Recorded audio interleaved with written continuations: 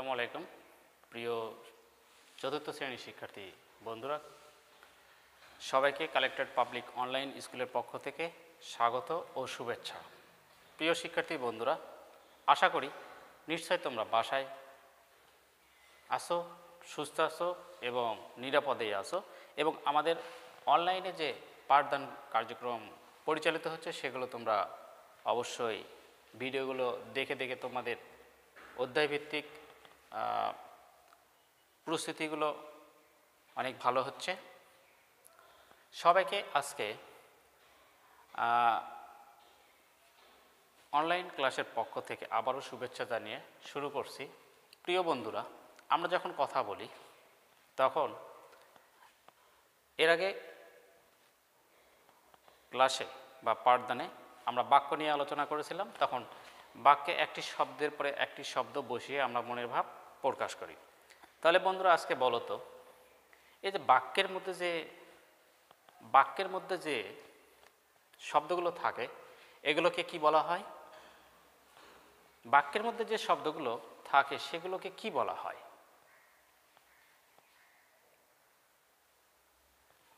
জি। সেই শব্দগুলোকে বলা হয় পদ, সেই শব্দগুলোকে বলা হয় পদ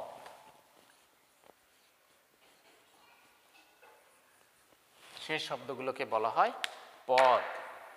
এখানে ব্যাকরণে পদ মানে হলো বাক্যে যে শব্দগুলো ব্যবহার করা হয়, সেই শব্দ, অপর নাম হচ্ছে পদ। আর এই পদ মানে আবার পা, কিন্তু ব্যাকরণে পা নয়। তাহলে আজকে আলোচনা করব আমরা পদ সম্পর্কে। আমরা পদ যদি আলোচনা করি, তাহলে কি জানতে পারব? আজকের পাঠদান থেকে বিভিন্ন প্রকার পদ সম্পর্কে বুঝতে পারব। অর্থাৎ পদ সম্পর্কে আমাদের ধারণা জন্মলাভ করবে আর পদ নির্ণয় করতে পারব। অর্থাৎ একটি অনুচ্ছেদে বা বাক্যে যে শব্দগুলো থাকবে সেই শব্দগুলো কোনটি কোন পদ, তা নির্ণয় করতে পারব। তাহলে চলো আমরা আজকের আলোচনার মূল বিষয়ে চলে যাই। পদ তাহলে পদ কাকে বলে?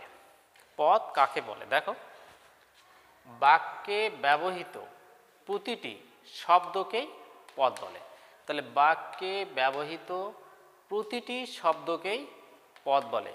তাহলে আমরা একটা উদাহরণের মাধ্যমে, আমরা একটি উদাহরণের মাধ্যমে দেখি। সাবিত ভাত ও মাছ খায়। এখানে দেখো, এক, দুই, তিন, চার, পাঁচ। কয়টি? এক, দুই, তিন, চার, পাঁচ। তাহলে এই যে সাবিত ভাত ও মাছ খায়, এই বাক্য, এটি একটি সার্থক বাক্য। তাহলে এই বাক্যের মধ্যে দেখো, এক, দুই, তিন, চার, পাঁচ। পাঁচটি আমি সংখ্যা লিখছি। তাহলে পাঁচটি কি আছে? সাবিত একটি পদ, ভাত একটি পদ, ও দেখে মনে হচ্ছে এটা আবার কীভাবে পদ হয়? এই ও একটি পদ, মাছ মাছ একটি পদ, খায়। খায় একটি পদ। তাহলে পদ কাকে বলে? বাক্যে ব্যবহৃত প্রতিটি শব্দকেই পদ বলে। প্রিয় শিক্ষার্থী বন্ধুরা, নিশ্চয় বুঝতে পেরেছ পদ কাকে বলে? তাহলে আমরা এবার দেখে নেই। পদ কয় প্রকার?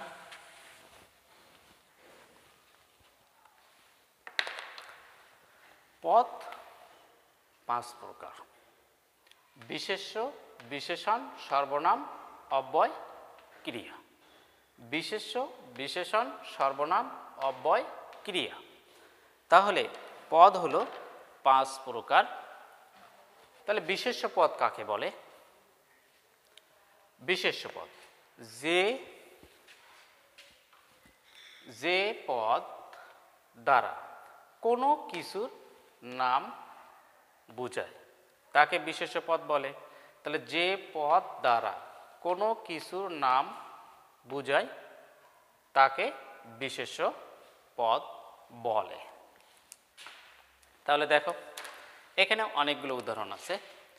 তাহলে যে কোনো নাম যে কোনো নাম হলে সেটা পদ হবে, বিশেষ পদ। মতিন, একজন মানুষের নাম। গরু, একটি প্রাণীর নাম। মাছ, একটি প্রাণী, আমরা খাই। বগুড়া, একটা জায়গার নাম।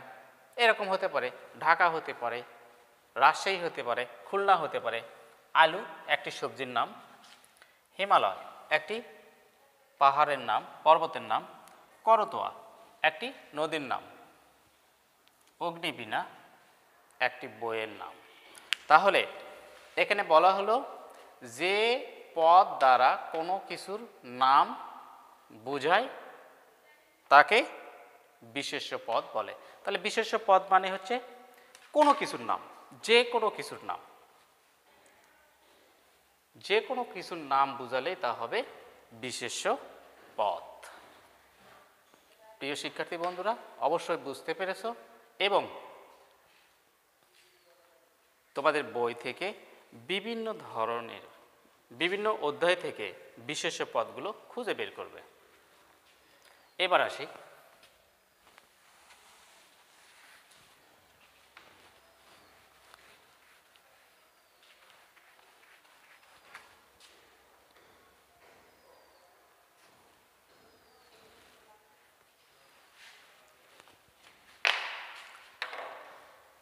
বিশেষণ পদ। বিশেষণ পদ কাকে বলে? যে পদ দ্বারা অন্য পদের দোষ, গুণ, অবস্থা, সংখ্যা, পরিমাপ বোঝায়।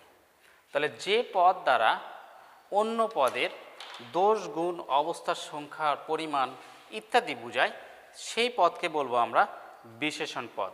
তাহলে বিশেষণ পদ কীরকম দেখো? ভালো মন্দ, লম্বা, দশ, বিশ ইত্যাদি। তাহলে বিশেষণ পদ দ্বারা বোঝানো হয় অন্য কোনো পদের দোষ, গুণ, অবস্থা, সংখ্যা, পরিমাণ ইত্যাদি।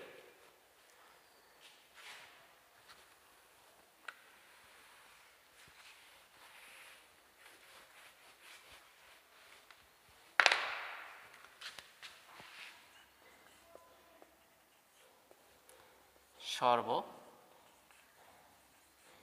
নাম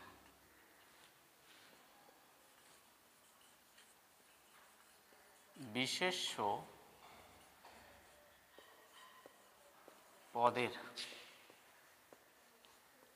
পরিবর্তে যে পদ ব্যবহার করা হয় তাকে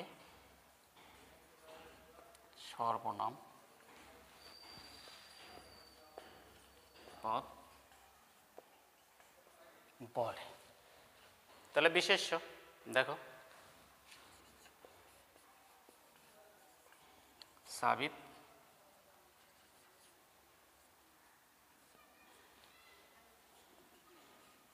ভালো। ছেলে। তাহলে সাবিত বিশেষ্য পদ।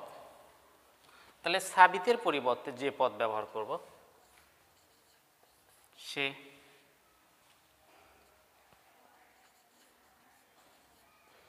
ভাত খায়।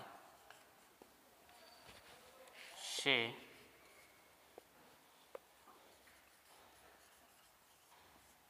স্কুলে যায়। তাহলে সাবিতের পরিবর্তে আমি সে ব্যবহার করলাম। তাহলে সে হলো সর্বনাম পদ। এরকম সর্বনাম পদ অনেক আছে, আমি লিখে দিচ্ছি। তোমরা অনুশীলন করবে। তিনি, তার, আমি, তুমি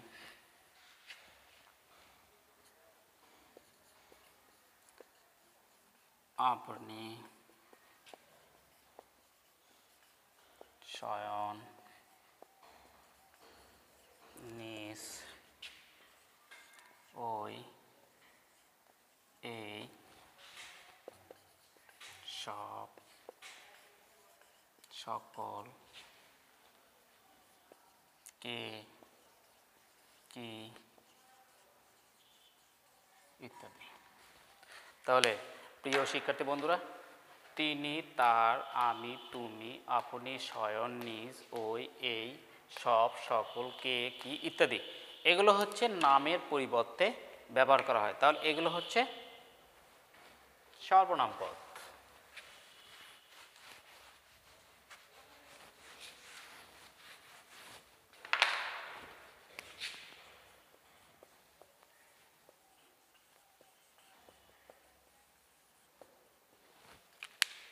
অব্যয় পদ প্রিয় শিক্ষার্থী দেখো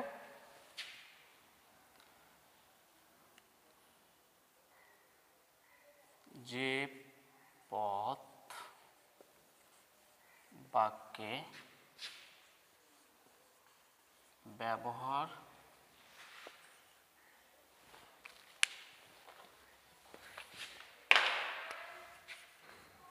ব্যবহার করলে কোনো পরিবর্তন পরিবর্তন হয় না। তাকে অব্যয় পথ বলে।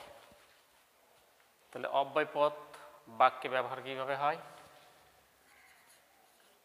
আমি ও সে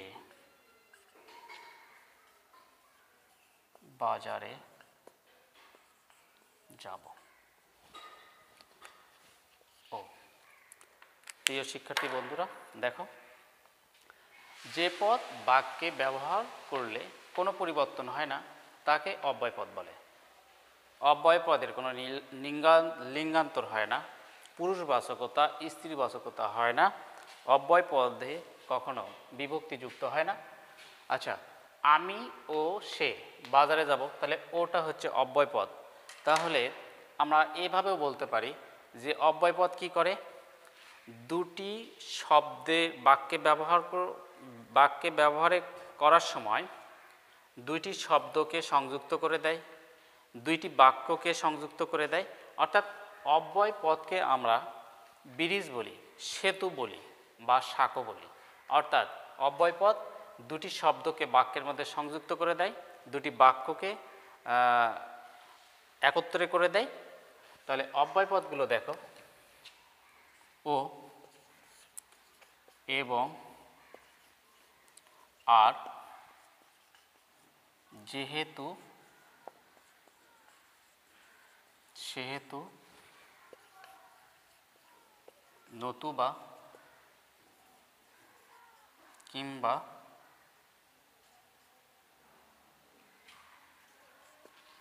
কিংবা সুতরাং তথাপি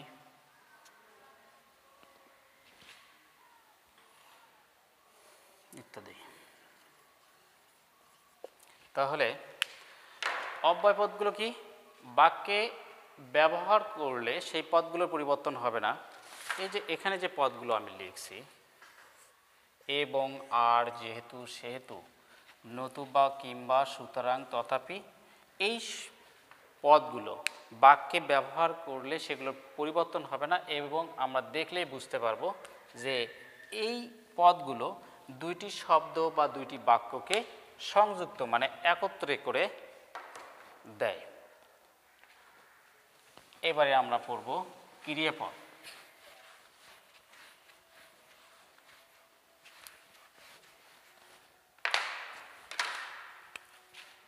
পাঁচ নম্বর ক্রিয়াপদ। আমরা জানি ক্রিয়াপদ মানে কি? ক্রিয়াপদ মানে হলো কাজ করা। তাহলে যে পদ দ্বারা কোনো কাজ করা বুঝায় তাকে ক্রিয়া পথ বলে।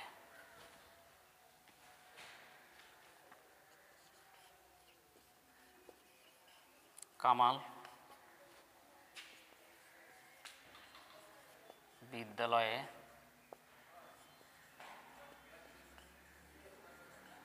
যায় তাহলে প্রিয় শিক্ষার্থী বন্ধুরা, দেখো কামাল এখানে কাজ করতেছে। তাহলে যে পদ দ্বারা কোনো কাজ করা বোঝায় তাকে ক্রিয়াপদ বলে। অর্থাৎ কাজ করা বলতে যাওয়া, আসা, খাওয়া ইত্যাদি বিভিন্ন ধরনের কাজ। তাহলে এখানে কামাল কামাল এখানে কি কাজ করতেছে? কামাল বিদ্যালয়ে যায়।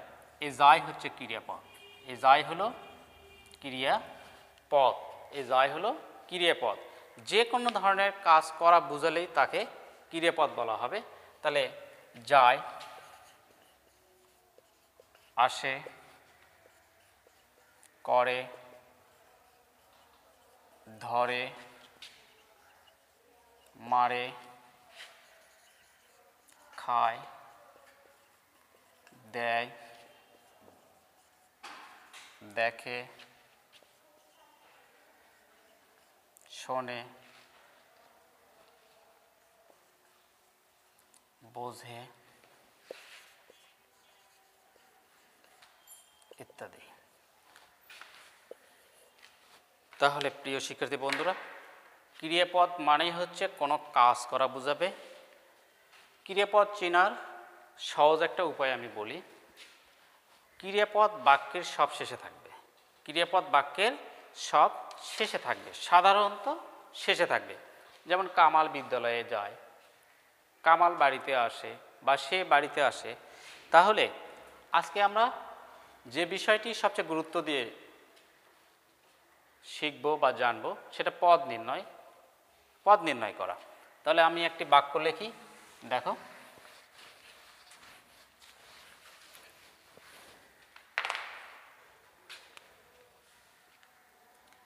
পদ নির্ণয়।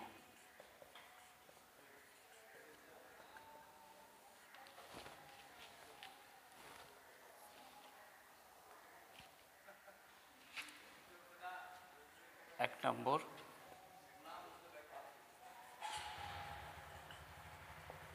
কামাল।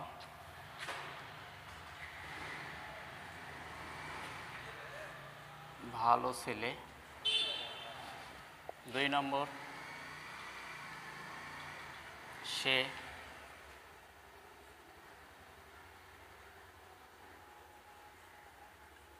ভদ্র ও শান্ত। তিন নম্বর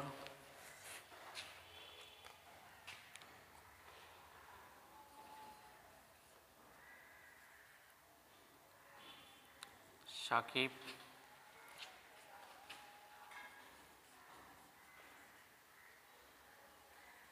মাছ ধরে।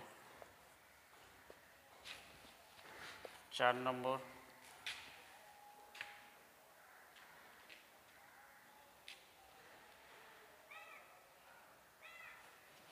লাগবে না? এই তিনটি বাক্য দ্বারাই আমরা বুঝতে পারব যে কি। তাহলে বন্ধুরা বলো, সাকিব, কামাল। মাস। এগুলো বিশেষ্য? বিশেষ্য। বিশেষ্য। সে সর্বনাম ভদ্র শান্ত। বিশেষণ?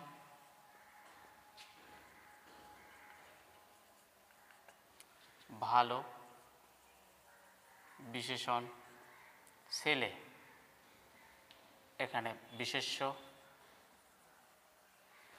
ধরে, ক্রিয়া। আর এটা হচ্ছে অব্যয়। তাহলে কামাল বিশেষ্য, ভালো বিশেষণ, ছেলে বিশেষ্য, সে সর্বনাম, ভদ্র বিশেষণ, ও হলো অব্যয়, শান্ত হলো বিশেষণ। সাকিব বিশেষ্য মাছ বিশেষ্য ধরে হলো ক্রিয়াপদ। তাহলে প্রিয় শিক্ষার্থী বন্ধুরা, তোমাদের বাড়ির কাজ।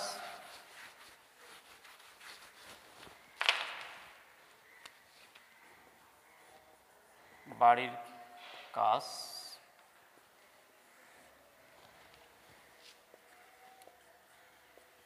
পথ কাকে বলে?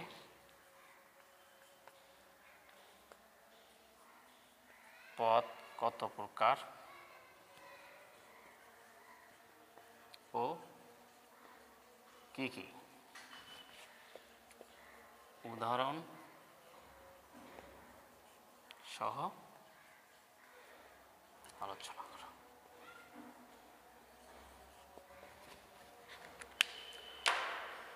আজ তাহলে এ পর্যন্তই।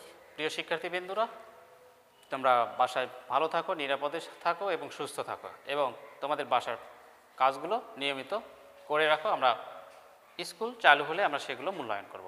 ওকে? আল্লাহ হাফেজ।